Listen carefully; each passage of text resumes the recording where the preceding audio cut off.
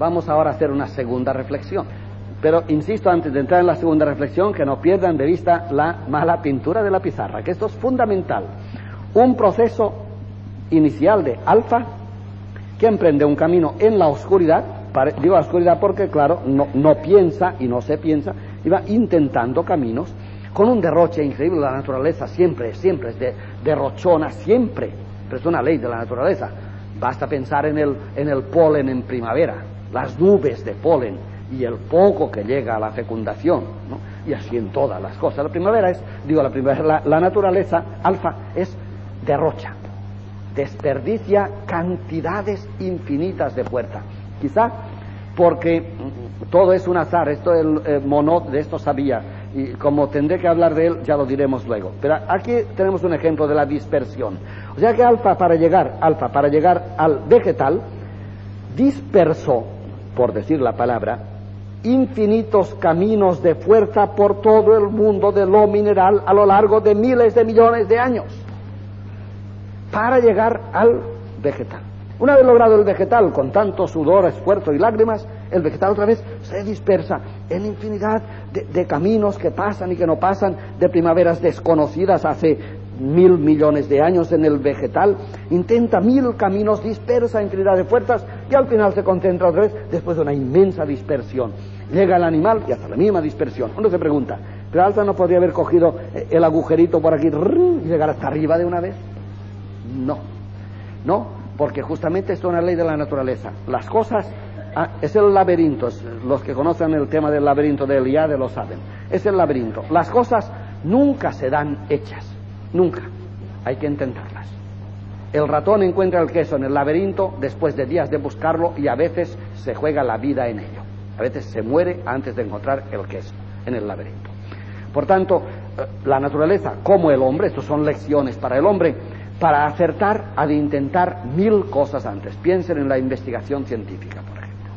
La cantidad de caminos que no pasan y que no pasan, pero que se sabe que no pasan después de haber pasado una vida entera en un punto de investigación y al final dices, pues no pasa.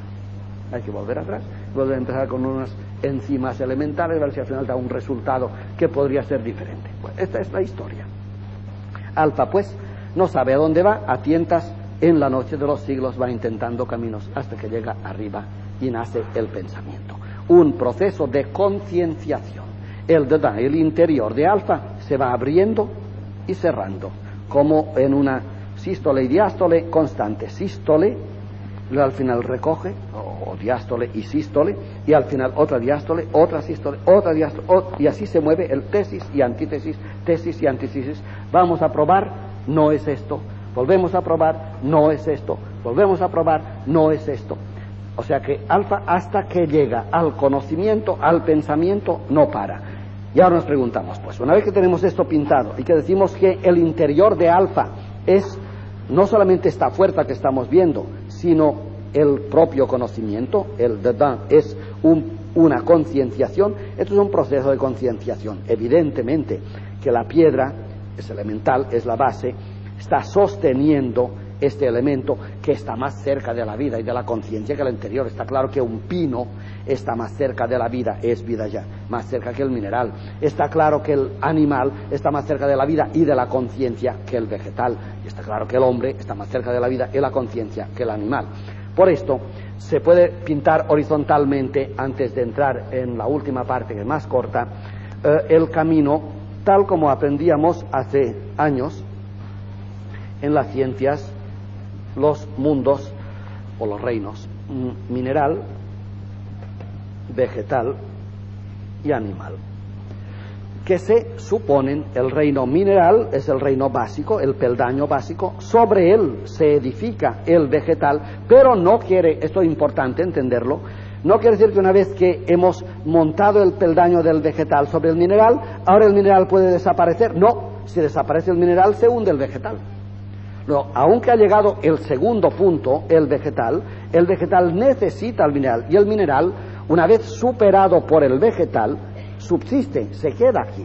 Y no solamente como testimonio de un camino superado, sino como necesidad del vegetal. El vegetal sin mineral no vive, no es posible. Una vez que hemos superado el vegetal, con el animal, llega al tercer peldaño, el mundo animal o la biología, está montado sobre el vegetal y sobre el mineral. Pero no quites de debajo del animal el vegetal, porque el animal no, sobreviviría.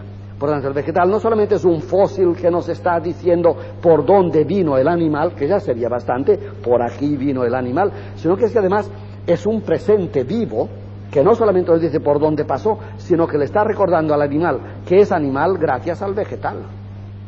Como el mineral le está recordando al vegetal que es vegetal gracias al mineral. Los animales sin vegetales no viven.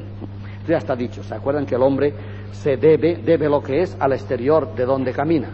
Aquí hay, digo, en estos tres reinos que se postulan y se suponen, se, se, necesitan mutuamente, el mineral ha nacido para sostener al vegetal. Una vez que ha engendrado el vegetal, no desaparece él, se queda aquí como testigo del camino y como necesidad del vegetal. Una vez que el vegetal ha parido el animal, el animal viene nuevo, pero vegetando sobre el vegetal, le necesita. Por tanto, el vegetal está como testigo del camino del animal, pero a la vez como alimento del animal.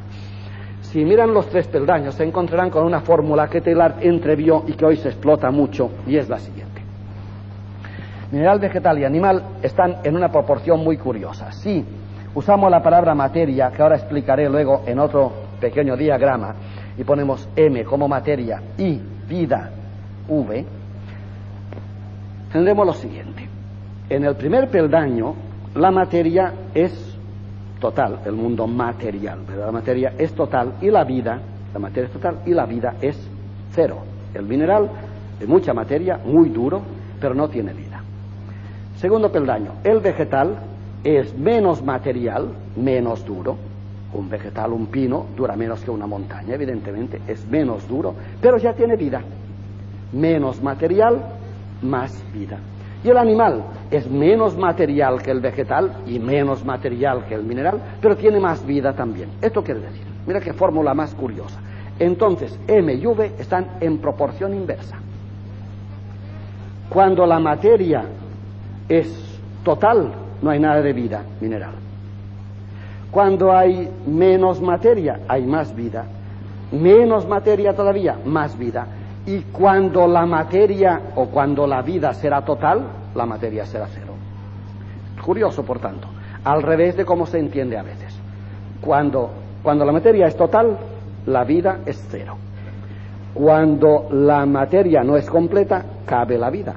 Y cuando la vida es total, la materia es cero. Luego, materia y vida están en proporción inversa. Esto quiere decir que hemos de suponer que en el peldaño superior, que estaría el hombre, tenemos menos materia todavía que en estos reinos y más vida. Y quizá podemos suponer un peldaño superior donde la materia sea igual a cero y la vida sea el infinito. Evidentemente que sí. Y por ahí andamos. Pero esto ya es para explicar lo que diremos a continuación. Pero retengan esta fórmula que sí hoy es admitida porque, recordando otra cosa que ya dije, solemos poner como, como materia una pirámide en este sentido. Esta base es la pirámide, bueno, esta base es la materia, que es la base, lo más grande, y el soporte de la pirámide, de la construcción. De forma que cuanto más arriba te haces, la materia es menor, claro, se aprieta, pero la realidad también es menor hasta que aquí la realidad es igual a cero. Por tanto, materia es igual a real. Lo real es la materia. Cuando la, aquí la materia es pues la gran dimensión, el gran soporte, pues esta es la realidad. La estrella es real, este ladrillo es real, el animal es real, la mesa es real.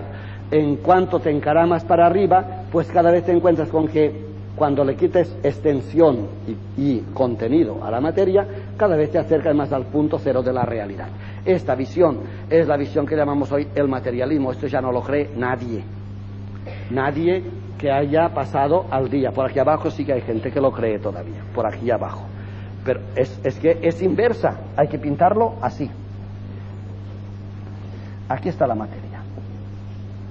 La materia es el punto de inflexión ínfimo de la realidad. Lo real está aquí. Esto es de Platón. Esto es Platón. El mundo real es infinito, es el soporte de todo, es la base de todo. E invitó a la pirámide adrede para, para la cuestión de intensidad. Eh, lo real es la base de todo. Pero lo real justamente está en los antípodos de lo material. ¿eh? Cuando lo real se aprieta, en el momento en que acaba de ser, en el punto íntimo del real, nace la materia. La materia es el punto por encima del cual está toda la realidad y por debajo de la cual ya no hay realidad ninguna. O sea, es la frontera entre el ser y el no ser, la materia. La materia. Esto para los materialistas va muy bien, ¿no? Para los que no, yo, creo en mi cuerpo porque me lo... Pero ahora vamos a sacar la consecuencia. Entonces resulta, digo, que el mundo de la realidad, el mundo, por ejemplo, yo que sé, del pensamiento, de la idea, de la ilusión, del amor, es mundo real y no es material. Una idea es más poderosa que 400 toros. Depende de la idea, claro. Pero, pero sí, sin duda. Entonces, el mundo de lo real es un mundo infinito, de irisaciones infinitas. Lo vas, lo vas apretando, va perdiendo, ¿eh? cada vez más estrecho. Y cuando ya la pirámide se toca y queda un solo punto, el vértice de la pirámide, un solo punto, ese punto se llama la materia. Es el punto ínfimo de la realidad. Tan inferior que un punto por debajo de la materia no queda nada. El no ser empieza aquí. Por tanto, la materia es aquel punto desde el cual para arriba empieza el ser y del cual para abajo empieza el no ser. Esto es no ser. Es lo último de la realidad, la materia. Tan último que casi no es real. Bueno, y esto, esto ya digo que lo vio Platón, pero cuál no ha sido la sorpresa después de Einstein que nos lo ha dicho. La materia de la materia no es material. O sea que la materia no es material. Fíjate si, si está ya en el punto final. El material del cual está construida la materia no es material, es energía, es alfa. Es energía. Nada más. Es una pura, un espejismo en el cual caemos. Los átomos son fuerzas, no son materiales.